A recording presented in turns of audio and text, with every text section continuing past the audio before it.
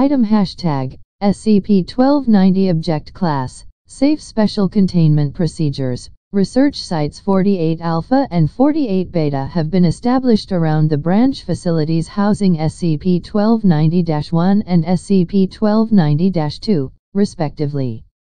Activation experiments involving SCP-1290 have been indefinitely suspended pending a better understanding of its operational principles.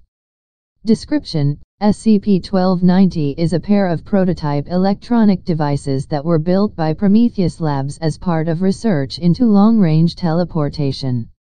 Each device consists of a platform 2m in diameter attached to a 5m x 20m x 3m main unit, both of which draw power from a dedicated generator.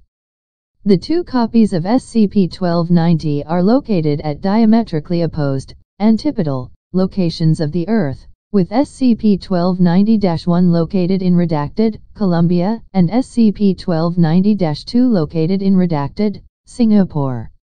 When an object is placed on the platform of SCP-1290-1 and the main unit is activated, the object is instantaneously, less than or equal to 10 ms delay, teleported to the platform of SCP-1290-2.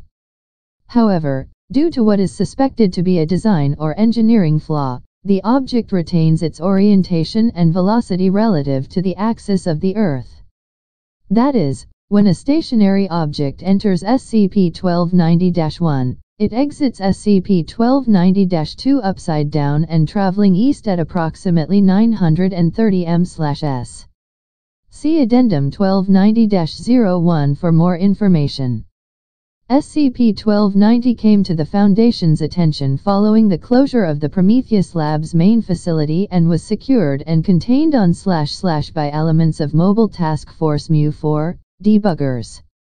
The chief engineer in charge of SCP-1290, DR Redacted, is wanted for questioning by the Foundation and has yet to be located.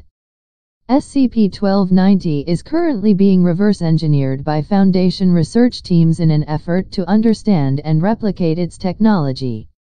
Addendum 1290-01, Incident Report, Initial Activation Experiment on slash slash In order to establish the functionality of SCP-1290, Foundation researchers attempted to teleport a regulation 14 pound, 6.35 kilograms, bowling ball from SCP-1290-1 to SCP-1290-2, resulting in three casualties and severe damage to the research facility and a neighboring warehouse.